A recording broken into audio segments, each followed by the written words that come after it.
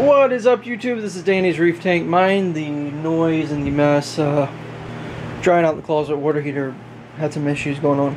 But uh, tank's a little bit, uh, got some particles floating around just in case you notice. I'll just wiped this first glass. And what you'll notice here is there's no longer a clam. I think I jinx myself every time I say something's doing good and it dies. Um, the way I'm thinking is maybe this blenny had something to do with it. It could just be my tank as well. But it did seem like it had some kind of like nip marks. So maybe it's stressed out, maybe it just died. I'm not really sure. But it is now out of this tank. Uh, other than that, tank's doing great. Uh, you can just see all the new additions since the uh, frag tank shut down. Just loaded up uh, toadstools mainly in the back. And your things that kind of get invasive like your uh, star polyps and your pulsing xenia. But uh, tank is doing good. So I just wanted y'all to check that out YouTube. And on a side note, I did end up getting uh, the auto top off installed. You see my water thing right there. It's doing pretty good. I'm trying to test about how fast it goes out. Uh, it is the Aqua Auto Aqua. I don't think it has a name. Smart ATO. Got it off. Oh, there it is, model number. SATO 100P.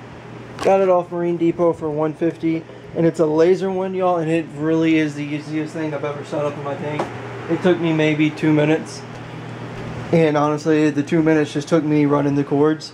Really super easy to use. So far hasn't had any issues worked perfectly. Um, but thinking that's really gonna help the tank. Hopefully once my paycheck clears I will be ordering me a dosing pump off Marine Depot as well. And I'm gonna get that set up this week or once it arrives. So hopefully I can show you all that as well. Just in case you wanted to see it the auto top off.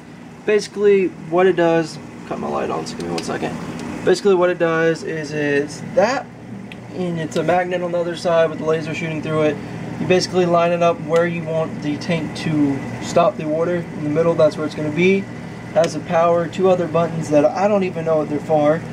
You have a power cord that runs into the plug and then you have a cord that runs into the pump of the sump. Then you mount your water drain, make sure it's not in the water so it doesn't backflow or back siphon. You can see mine right there.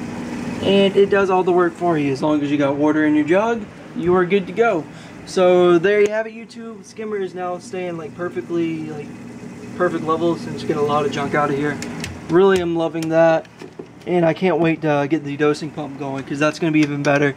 So I'm looking forward to that. Thank you for checking it out, YouTube. Thanks for watching as always. Like, subscribe, comment, any questions. Later.